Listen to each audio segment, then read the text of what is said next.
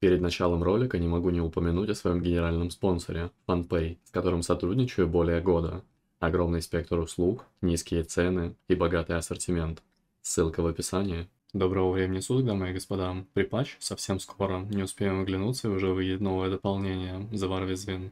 Само собой, в тот момент, пока мы играли, набралась куча различной валюты. В этом видео я предложу вам выгодно слить абсолютно всю эту валюту. Это не значит, что мы получим миллионы золота. Это значит то, что мы реализуем всю эту валюту с какой-то пользой. Быть может в пользу трансмога, быть может в пользу каких-то обликов, быть может в пользу какого-то улучшения персонажа. Обо всем расскажу, все покажу абсолютно. Давайте начнем. Первая валюта уходящего дополнения – драконьи камни. 250 драконьих камней нужно с целью того, чтобы получить цельную искру пробуждения. Искру пробуждения мы можем потратить в пользу крафта 502, 515 или 525 вещицы. В зависимости тратим мы гребень или вообще не тратим. Также драконьи камни можно потратить на покупку предмета 496 этом левела. Покупаем сундучок, высылаем абсолютно любого персонажа и открываем. Вещицы, эпики, которые пролутываются в момент открытия сундука, можно прокрутить в катализаторе. Таким образом можно получить сетик. Изумрудная росинка, валюта, которая используется с целью того, чтобы семена, которые были посажены в изумрудном сне, дали нам больше ресурсов. Но эти ресурсы стоят дешево, и тратить специально эти росинки как-то, я думаю, не особо имеется смысл. На какой-то трансмог росинки, к сожалению, потратить нельзя. Настой сна – валюта, которую периодически выдает нам Элиана. В тот момент, когда энергия сна заполняется полностью, мы получаем одну единицу этой валюты. А потратить ее можно на покупку питомцев. Но для того, чтобы получить этих питомцев, мы должны призвать аналогичного питомца – Таким образом, мы тратим 6 настоев сна и получаем 6 питомцев. Например, для того, чтобы купить призрачную зеленую улитку под названием Дрема, нам нужно потратить один настой сна, и при этом мы должны призвать улитку с названием Рогги рядом с Элианой. Можно и другую улитку какую-либо призвать. Комментарий на входе чекаем и призываем того питомца, ту улитку, которая у нас имеется. Парапричинные стружки. Валюта, которую мы можем получить с порталов времени. Имеется ящик для пересылки этой валюты, тратим 500, получаем 500, но он вообще не имеет смысла, потому что на текущий момент, если открыть абсолютно любого торговца, то мы не увидим в продаже никакого тринкета, а раньше они были. На текущий момент стружки можно потратить на покупку баджей, которые являются персональными при получении, а также мы можем потратить эти стружки на покупку питомцев. Питомцы мы знаем и так привязаны по аккаунту. Можно как вариант посадить их в клетку и продать на аукционе. Но если абсолютно всех прокликать, то можно увидеть различные баджики, различных питомцев, различный трансмог. В целом, просто-напросто пополняем коллекцию персонажа и таким образом выгодно тратим абсолютно все стружки, которые у нас накопились. Печать бури и энергия стихии связанные между собой валюты. Зайдем в башенку, которая находится вот по координатам. Координаты на экране в небольшой плашке имеются. Тут нас встречают мапцы. У этих мапцов мы можем купить различные товары за энергию стихий. Самая выгодная покупка – это плащик. Покров яростных бурь. 200 пыли, 5 голды, 20 серебра. Также можно купить маунта, можно купить питомцев. Также можно купить и другие вещицы на трансмог. Если мы хотим эти предметы улучшить, не самый, конечно, хороший item level, то мы можем потратить печати бури. 5 штучек. Предмет стал вообще не дороже, цена его не поменялась. А далее мы расходуем запретное знание, но его, конечно, лучше вендору сливать, если оно у нас имеется в форме предмета. Поэтому печать бури получается мертвая валюта просто-напросто, которая раньше использовалась для улучшения шматья, а энергия стихий, пожалуйста, превосходная валюта, можно выгодно выменить на плащики, потом продать их вендору. Чудно. Знакомый макрос, мы его очень часто используем. Таким образом, скупаем абсолютно все плащики, потом используем модификацию скраб, мы помечаем этот плащик как утиль и просто-напросто скидываем все обратно в вендору. Таким образом, получаем небольшое количество галдишки. Припасы драконьих островов – самая популярная валюта уходящего дополнения, используется абсолютно везде, начиная от покупки трансмога, заканчивая прокачкой талантов у драконьей экспедиции. Мы улучшаем наши навыки фотографа, мы улучшаем наши навыки скалолазания, но также это дело можно реализовать в золото. Если мы прилетим в пещеру Заролек, в центр, зайдем в домик, то тут нас встречает моб, у которого можем купить бартерные булыжники. Бартерный булыжник продается вендору за 24 золота. Таким образом, если у нас имеется лишняя тысячонка припасов, то мы можем получить 240 голды. А если у нас 100 тысяч припасов, Вот думайте. Но это, конечно, стоит лучше делать при том условии, если у вас куплено абсолютно все по трансмогам. Лучше, конечно, купить трансмоги. Если остаются лишние припасы, то окей, булыжники. В целом неплохой вариант.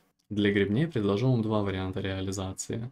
Первый. В тот момент, когда стартует припач нового дополнения The War Within, у нас появятся отряды, и в рамках отряда валюту можно передавать. Таким образом, можно передать лишние пробужденные гребни аспекты на твинка и закрафтить себе 525 вещицы. Мы покупаем формирующий гребень, мы его чаруем и крафтим вещицу. Все как обычно. Второй вариант реализации накопившихся пробужденных гребней. Мы просто покупаем формирующие пробужденные гребни и продаем их торговцу. К примеру, вот как-то так. Беспощадно кидаем вендору. Очередная башенка, на этот раз в Альтразусе. Находится по координатам, координаты на экране имеются над кружочком с этим левелом. Все можно увидеть. Заходим внутрь этой башенки, нас встречает моб, снабженец Ариста. У нее можно выменять абсолютно все таинственные фрагменты. Таинственные фрагменты даются нам в тот момент, когда мы совершаем раскопки. Раскопки происходят в Тальдразусе каждый часик. И там виклик даже имеется, мы вылутываем сразу 5000 этих фрагментов. Предметы, которые мы можем купить, довольно-таки дорогие. Какая-либо репутация для их покупки даже не нужна. Самое ценное это маунт за 20 тысяч. Другие трансмоги стоят дешевле.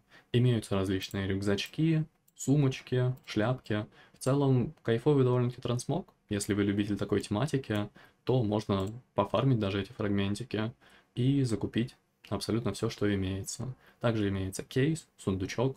Мы покупаем его за тысячу и вскрываем, получаем тоже тысячу. То есть можно стринков на мейна переслать и на мейне абсолютно все закупить. Ну или наоборот. Кровавые жетоны можно реализовать вместе с трофеями раздора, если они у нас, конечно, имеются. Фельдмаршал Эмберат выгодно выменяет нам 120 кровавых жетонов на плащик. Цена его продажи 53 золота, 33 серебра. Но, если у нас имеются трофеи раздора, то у Каварнессы можно объединить жетончики с трофеями. Таким образом, можно уже купить плащик подороже. К примеру, шаль драконьего наемника. Цена почти 72 золотые монеты. Таким образом, мы сразу реализуем две валюты. Для покупки эпического плаща подойдет тот же макрос, который мы использовали для реализации энергии стихии. Тот же пятый предмет, тот же макрос. Абсолютно все закупаем, экипируем потом и продадим вендору. Лишние очки завоевания можно потратить на покупку сундука с драконьим снаряжением. В тот момент, когда дополнение выйдет полноценно, мы открываем сундук, там будет серый предмет ценой продажи 200 золотых монет. Но также этот сундук можно переслать по учетной записи абсолютно любому персонажу, и там находится вещица 493 итем левела, PvP-шная. Также ее можно будет прокрутить в сет. Лишние очки чести можно тоже выгодно потратить. Включаем фильтр «Все», и покупаем щиточки. На покупку щиточков тоже у меня имеется превосходнейший макрос. Продемонстрирую его. Вот он. Покупаем, ждем 2 часа, либо экипируем щитки и после этого сразу же продаем. В моем случае придется ждать. На текущей неделе пробужден рейд хранилища воплощений. По этой причине на всех игроках имеется баф. Знак пробужденных бурь. Репутация с экспедицией, кентаврами, клыкарами повышается на 50% быстрее.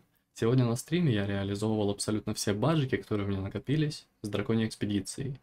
Я заранее взял баф, который находится в запретном крае, подходим к столику, выбираем один из четырех с экспедицией, кентаврами, клыкарами или союзом Вальдракена, и целый день он у нас действует. Мы влутываем на 10% больше репутации. Хумановский баф, к сожалению, в новом дополнении уже в припатче будет убран, но ярмарка еще никуда не уходит. Можно все это как-то застакать между друг другом и таким образом реализовать абсолютно все накопленные баджики. К примеру, завтра буду реализовывать трофеи кентавров, знаки кентавров, кучу их накопилось, и все это идет в пользу получения парагон сундуков.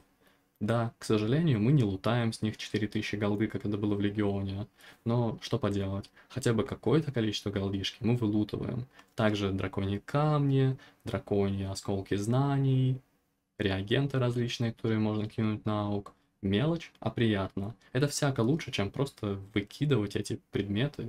Можно реализовать их с пользой, это мы и сделаем. На этом все. Рассказал абсолютно все про валюты уходящего дополнения. Если о чем-то забыл, если у вас есть какие-то свои способы реализации, то дайте знать об этом в комментариях. Всех вам благ, счастья, здоровья Берегите ноги, мойте руки. Не забывайте о ссылочках в описании. До скорого!